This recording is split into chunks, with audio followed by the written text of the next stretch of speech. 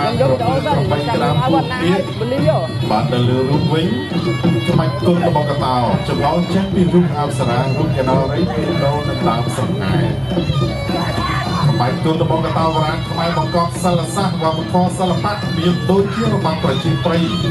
រំវងរំក្បាច់រំលោះរំកែនរំព្រើសាររំតាមវាទៅលុបទៅព្រឹក